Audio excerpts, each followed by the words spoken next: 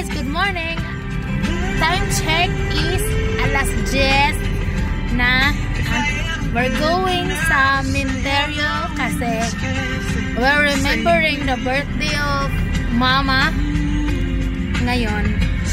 Bintong, and then si Tia, and then si Ate Hazel. Si Ate Bibit, nagmotor lang siya. At we're going sa Under the Flower. Ang flower may nagdag nagdagbiga sa tanan kay malaking issue.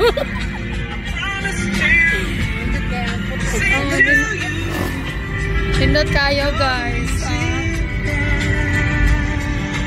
we're just remembering our mama. Pila na edad ni mama ron?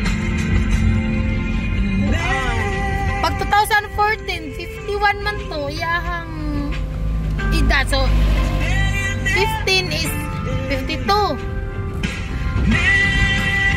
52. 15, 16, 17, 18, 19, 20.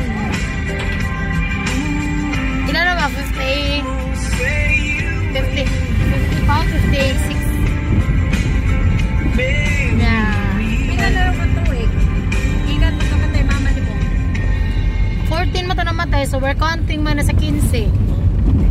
15, 16, 17, 18, 19, 20. Kuha na, unang katuig. Sa sinta na.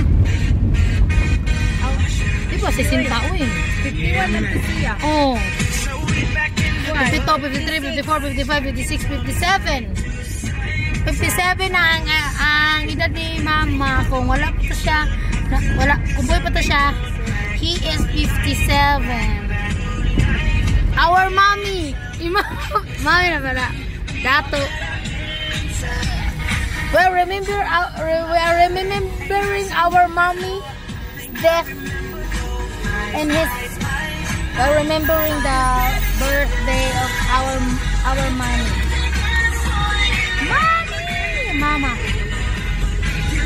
Here guys. Yan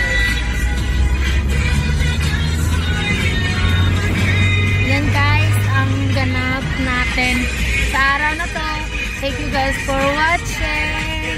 I hope to see you guys